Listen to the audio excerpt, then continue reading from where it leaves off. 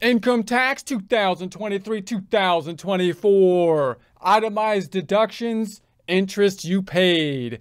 Get ready and some coffee because we're looking to get the tax man off our back with income tax preparation 2023 2024. Most of this information can be found in the instructions for Schedule A Tax Year 2023, which you can find on the IRS website at irs.gov, irs.gov.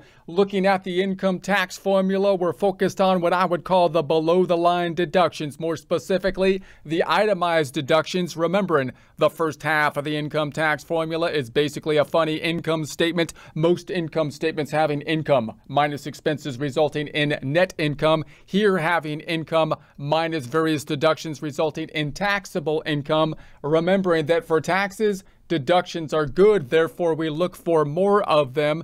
The difference between the types of deductions include the above the line deductions or adjustments to income do not have to clear a threshold, such as the standard deduction, before we get a benefit from them, whereas the itemized deductions do typically have to increase higher than the threshold of the standard deduction before we get a benefit from them.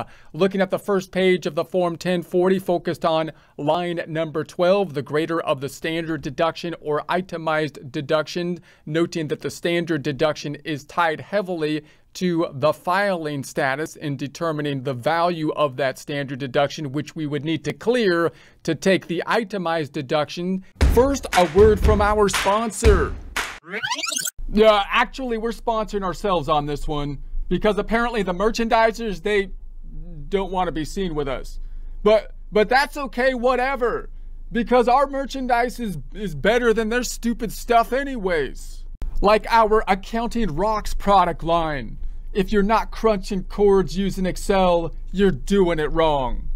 A must-have product because the fact, as everyone knows, of accounting being one of the highest forms of artistic expression means accountants have a requirement, the obligation, a duty to share the tools necessary to properly channel the creative muse. And the muse, she rarely speaks more clearly than through the beautiful symmetry of spreadsheets. So get the shirt, because the creative muse, she could use a new pair of shoes.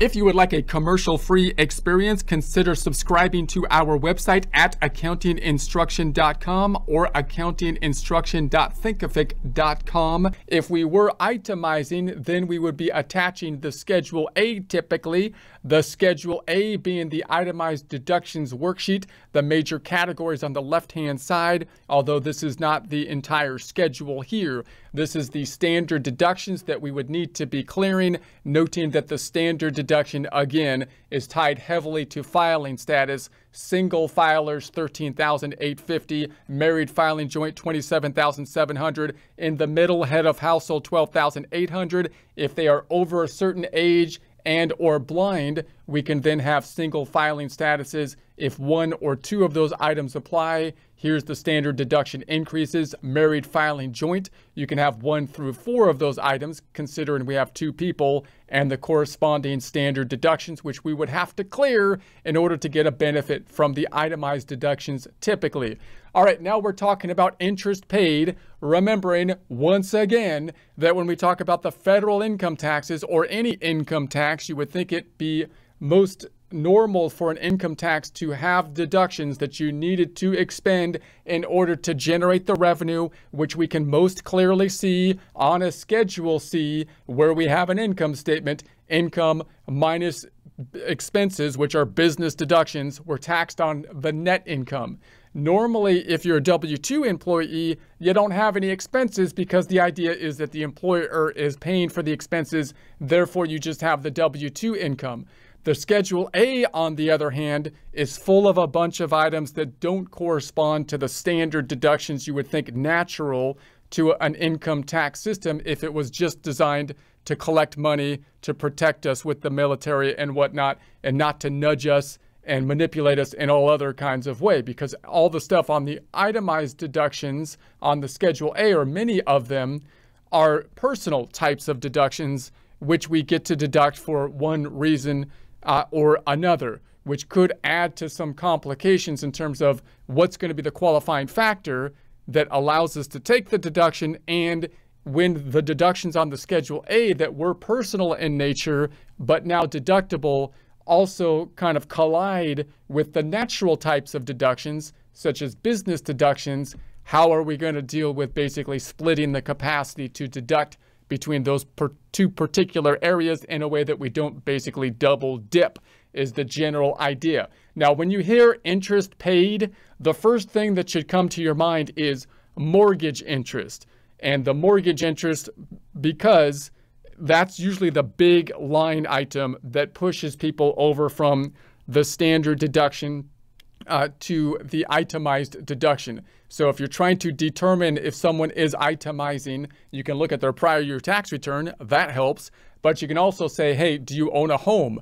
If they do, you can almost assume, given home prices, that they have a loan on it. And if they have a loan on it, they're paying mortgage interest. And the mortgage interest is a big one that possibly could be significantly adding to the itemized deductions if you compile that or combine it with the property taxes, which will certainly be there as well, although varies greatly depending on location where you're at then those are the things that often kick people over uh, for the interest. Okay, so the rules for deducting interest vary depending on whether the loan proceeds are used for business, personal, or investment activities. So if you looked at this just from like, if you're like, just saying, hey, I have an income tax, what's the kind of loan that you would expect would be deductible? You would expect the loan for business to be deductible.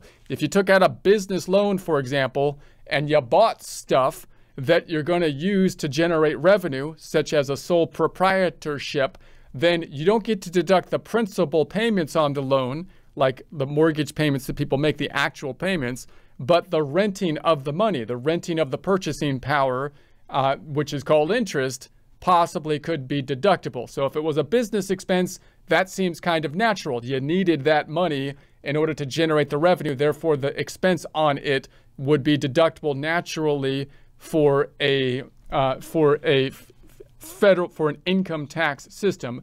Personal interest, usually you would think not, right?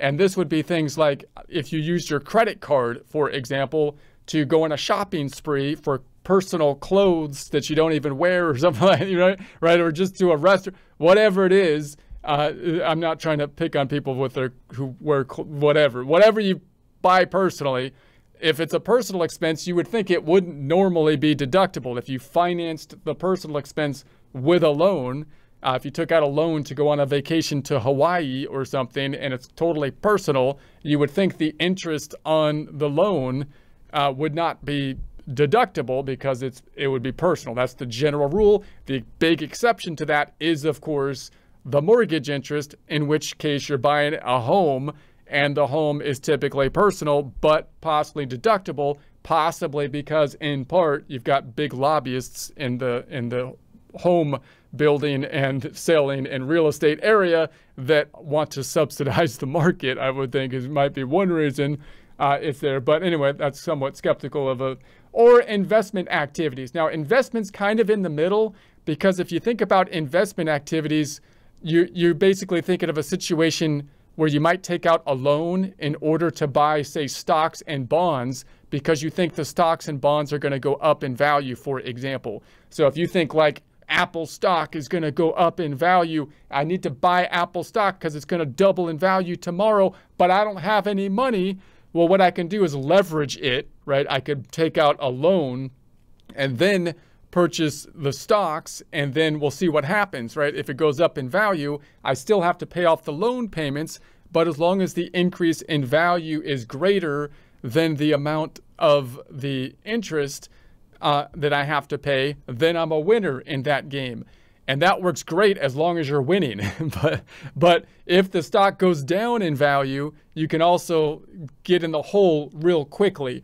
So there, there's a, a real question in terms of just should we have it deductible or not in terms of basically investment and, and like speculative purposes because the question there is do we want to be incentivizing people to taking on risks that seem more closer akin to like gambling rather than legitimate long-term business uh, risk which would be more like the situation where you buy equipment and you're planning on building a business, which is a long term thing rather than a short term investment gain that you might be trying to take out a loan because you heard some, you know, it's got some inside news on a stock trade or something like that.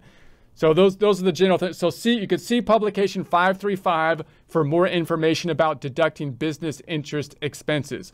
All right, so see publication 550 for more information about deducting investment interest expenses. You can't deduct personal interest. So the credit card, not typically included. You can't typically deduct uh, if you got a car loan or something like that. You can't typically deduct uh, the car loan. What about uh, student loans? Again, it's personal. You don't deduct it here, but maybe you could deduct it somewhere, right? It might be an above the line uh, type of deduction. That's another kind of exception to the general rule. Why? Most likely because the schools have a big lobbying industry, right, for the universities, which jacked up the the cost of education. Was that actually beneficial in the long run to people? I don't know because I think the cost of education would be a whole lot cheaper if they didn't do that and it would be easier to know what's happening, but that's how it is. So, however, you can deduct the qualified home mortgage interest. So that's the big one that it used to be before, by the way, a long time ago. They had more interest that was deductible, like even like credit card interest and whatnot. And once something is deductible, you'll note that it's very hard to remove it. Like I feel bad for people that have large student loans th- that feel like they're tied to like a political parties, for example, who are promising to relieve the loan because they they basically that's what they bet on, right? That's what they they they they their action was based on the tax code. The tax code incentivized their action, and now it's almost like you've accepted money from the state and now the state's got you locked in like happens to some people when we're on like welfare or something like that it's hard to get off sometimes because because then you'll you'll lose it, right? It's hard to, then they pull the rug out from under you. So that's the problem with the tax code. Once a deduction is in place, it's hard to take it out because people have already made long-term plans on it, and that's why the tax code seems to move along kind of like a zombie, and you can't basically simplify it. Uh, and so that's also why we need to be very careful when we make more and further complications to the tax code, which people put long term plans on, such as investments in education, investments in homes, and, and all that kind of stuff, because you can't, you can't just change it if it doesn't work out. It's not something you can tinker with. But anyway, so then we have the, however, you can deduct qualified home mortgage interest on your Schedule A and interest on certain student loans. That's on Schedule 1. We talked about it before in Schedule 1. Remember that Schedule 1 is not an itemized deduction, so you might get a benefit of being able to deduct things on Schedule 1, such as the student loan interest, even if you're not itemizing. So Form 1040, line 21 you can see more information on that in publication 936 and publication 970. So if you use proceeds of a loan for more than one purpose, for example, personal and business, you must allocate the interest on the loan to each use. Now, again, because we are now deducting personal things on the Schedule A, this type of thing will happen more often in that we might be able to qualify for the same cost the same expense in different areas. For example, if we used part of our home not simply for personal use, but for the business, we have a home office in it. If we have a home office in it, then the mortgage that we paid for the home, which we're using in part for our business, you would think would be deductible because that would be similar to me basically getting a separate building that was my business and I, I own it and I'm paying interest on the loan that I got for my office building or something like that, you would think that would be deductible because it would be business related. However, if it's with regards to your home, that means only part of your home is going to be deductible on the Schedule C, which is typically more beneficial than deducting on the Schedule A because you don't have any limitation. You don't have that cap of clearing the standard deduction to be able to deduct on the Schedule C. So what are you going to do? Because you, you get only one interest 1098 form, you're going to have to use some kind of percentage allocation allocating between Schedule C and Schedule A. What you can't do is report the whole the amount on Schedule C and then double dip recording the same amount on Schedule A. In other words, if you had $10,000 of mortgage interest on the home and you're able you're going to have you can only deduct 10,000, where is it going to be? Some ratio of it will have to go to Schedule A, like 2,000 of it or whatever, and the rest go to, to uh, I'm sorry, to the Schedule C, 2,000, and then 8,000 on Schedule A or something like that. And you might use some allocation method such as the square footage of the home versus the office square footage, which we'll talk about when we get to a Schedule C type of business. So uh, you allocate interest on a loan in the same way as the loan is allocated. You do this by tracing disbursements of the debt proceeds to specific uses. For more information on allocating interest, you can see publication 535. So you allocate interest on the loan the same way as the loan is allocated. In other words, you, we're determining that the home mortgage loan is something that is deductible, whereas whereas a loan for other purposes is not. So then the question is, well, what if I took a $10,000 loan out? How do I know what it was used for, right? Because I mean, I could have just got a loan and put collateral on it and then I went on vacation. I got $10,000 loan. I went on vacation. How, how do I know where it should be allocated for? Or I might have put the home as collateral on the loan. So now it's the, the, the home is collateral for the loan, but I used the money to buy a car or something like that rather than basically increase the value of the home or something like that. Well, then you, so that can get kind of confusing because on the bank side of things, the bank isn't really concerned about whether it's deductible or not. The bank is concerned with whether you're going to be able to pay back the loan. So what they're looking for is collateral on the loan in the event that you default on the loan. But what we need for taxes is to know what the proper allocation of the loan was for so we can determine that the rent on the purchasing power of the money if it's deductible or not, and if deductible, where? On Schedule C, on Schedule A, possibly not deductible at all. And so that's the question. In general, if you paid interest in 2023 that applies to any period after 2023, you can deduct only amounts apply, that apply to for 2023.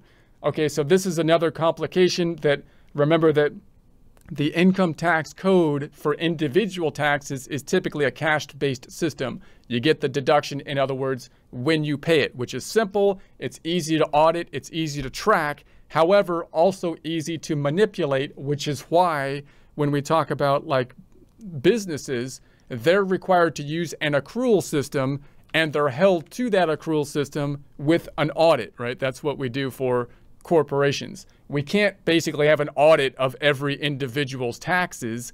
Therefore, we want to keep it simple, cash-based system, and then the IRS might randomly audit people, which they can then follow the money fairly easily. However, people will come up with plans then to distort when they're going to try to get the deduction, meaning I would rather have the deduction sooner rather than later in general, and some years I might have more income than other years, which, because of the progressive tax system, will result in higher tax rates. So if in this year I have a higher tax rate than I think I'm going to have next year because I earned more money, I might be looking for more deductions this year. One of the bright ideas I might come up with is that, hey, look, why don't I just say to my mortgage company, I'm going to pay you all of the interest on the loan up front and then I'm going to pay the principal later. Is that okay? Well, it would be okay with the bank if they were if they were allowed to do that maybe because that might mean they get an upfront payment sooner. But the IRS is going to say no, you can't do that. You can't you can't just you can't just that would be like prepaying the rent like if you're going to prepay the rent on your office building for the next 10 years and I paid it today and I got to deduct the whole thing today because I paid it today. Well, you can't really do that because you're, you didn't use the office building. So now the IRS is going to have to kind of limit that from happening and say, well, you can't you can't do this whole prepayment thing to try to distort and take the deduction earlier than you otherwise would. All right, use Schedule A to deduct qualified home mortgage interest and investment interest. So we'll talk a little bit more specifically on some of those categories in a future presentation.